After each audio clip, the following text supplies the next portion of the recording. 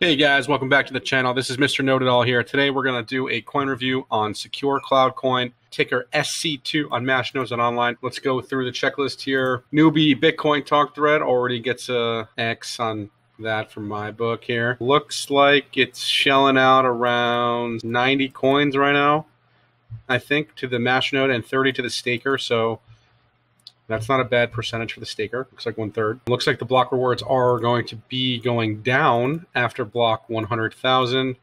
So let's just grab that information. We're at 91,000 right now. So block rewards will drop at 100,000 we're at 91,080. 8,900 more blocks divided by 1433 blocks per day.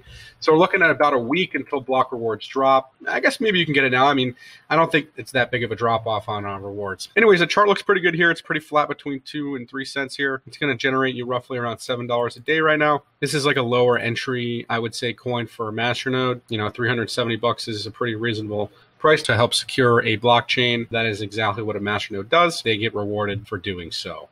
And the volume here is around 5,500, which is just in the guidelines. So that checks off on my list. It's listed on CryptoBridge, which is not a scam exchange like Graviex. So that's also a good sign. We're going to click on the Explorer here, kind of get a coin distribution breakout. I like their website here. Kind of tells you some more information than regular Block Explorer, so I like that. The distribution, the top 25 wallets, looks like they definitely have less than 50% of the coins. So the pre-mine wallet has 4%. Yeah, it's definitely less than 50%. So I would definitely say that this is a very well distributed coin. So that gets a check mark. The Discord looks like they are pretty active in the Discord here. They are trying to get listed on Binance through the uh, Community Coin of the Month. Um, so make sure you guys vote for that. And also make sure you guys like and subscribe to my channel. I do this content for you guys to try to help you guys understand how you can earn some passive income for helping secure some of these blockchains. And so make sure you guys like and subscribe and join my Facebook channel to get the latest updates as to, you know, what coins I want to review. So they're posting announcements like pretty active. There was an announcement here yesterday. Looks like they got support for masternodes here.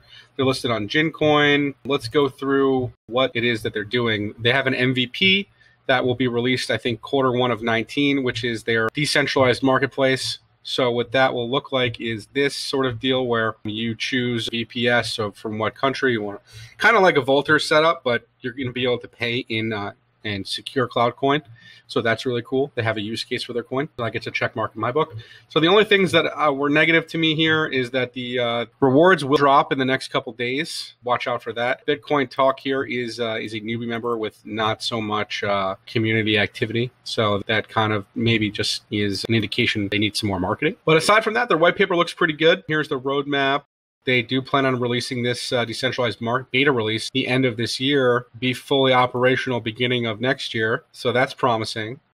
So this coin did have a pre-sale. I was not aware of that. Yeah, so guys, they have a white paper here. Make sure you guys go through their white paper and take a look at what they're offering. I think they have something that is going to do well. Overall, though, I would give this coin a 7 out of 10, being as though that their Bitcoin talk thread is not up to the standard of at least having a member or a junior member do their Bitcoin talk. And the activity here, not so good. But the activity in their Discord looks good, so that kind of outweighs that. Their use case looks pretty good for a decentralized marketplace.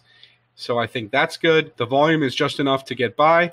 I think that's good enough to pull the trigger on maybe purchasing this node. Again, guys, it's not financial advice. Just is just what I'm seeing here in terms of volume. It seems like this coin is uh, holding a support at around two cents, so you can still make some nice passive income off this coin. All right, guys, make sure you guys like and subscribe. Thanks for choosing Mr. Node at All.